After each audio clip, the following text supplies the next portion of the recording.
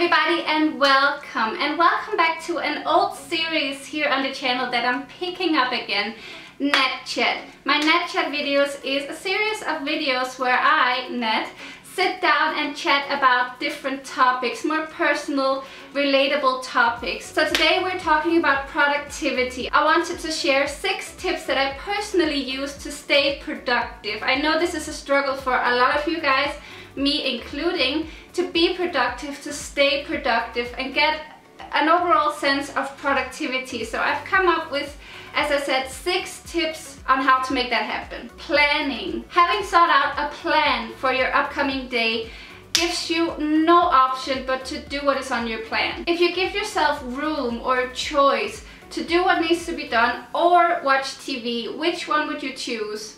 Think about it. While if you have made a plan of what needs to be done when and how much time you set aside for each task, you are more likely to actually get it done. I find that this is a really effective way for me to stay productive, to wake up and know what I need to do instead of waking up and having a choice. Oh, should I stay in bed, watch a little Netflix, get caught up in death? Dark circle. Or do I actually have a plan that says you need to get up, get ready, start filming a YouTube video. But also don't forget in your planning to plan in breaks and space for you to gather your energy to keep being productive. Alright, tip two, Find a motivator, find something that gives you motivation to get on your feet and work. Think of something that drives you to work harder to accomplish your goals. Something that makes you excited for the tasks or the things that you have to do. Tip number three, Reward. Give yourself a reward, a goal to work for. If you give yourself something to look forward to, to achieve once you've finished your task, you are more likely to be motivated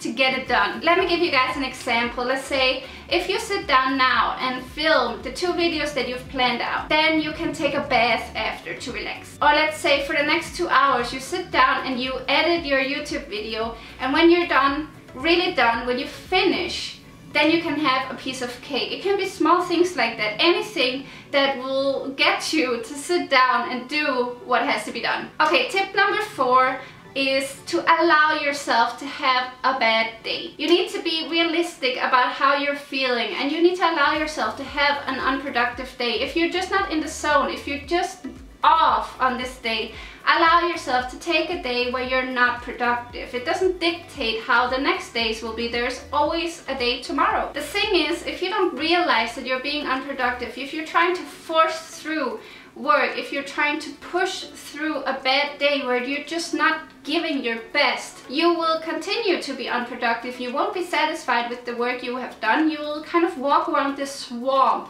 of working slowly, not really being happy with what you do.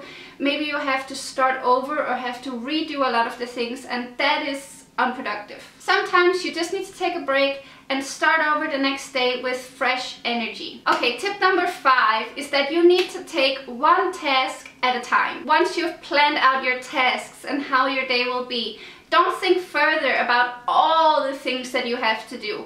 Focus on the task ahead. Focus on the first task that you're about to tackle and don't think about anything that comes after that. If you think about everything that has to be done in your day, it can be very overwhelming and it can take a lot of your energy away. So take one task at a time, focus on completing that task and getting that feeling of accomplishment from each task. That'll also give you energy and motivation to keep going and take on every task that comes to you. Alright, my final and sixth tip is to create your best setting. There's nothing more important for your productivity than to feel comfortable and safe in your environment. Your surroundings and how you feel in that surrounding can have such a huge effect on your productivity and your motivation and your energy. So if you feel energetic and motivated from being outside in nature or for plants or flowers, then buy a ton of trees and plants and put them all over your apartment. Seeing that greenery will make you feel more like you're out in nature. It will give you that energy that you need when you're sitting at your desk or having to iron a thousand shirts or whatever the task is that you need to get done. I think a lot of people don't realize how important it is to surround yourself with things that will give you that energy. Personally for me, I feel very tired, heavy, unmotivated in dark spaces. So for me it's very important that there's always brightness, there's always light. For me, it makes a huge difference when the sun is shining. I get a thousand levels more energy from that. I try to stay in places where the sun is shining. Another thing that for me personally bothers my productivity is mess and clutter. If I have a huge amount of dishes outside, if there's clothes on the floor, if I haven't cleaned out my wardrobe in a long time, I immediately feel cluttered in my mind. And it makes it harder for me to focus. Everything seems more complicated, everything seems harder to do. I get overwhelmed.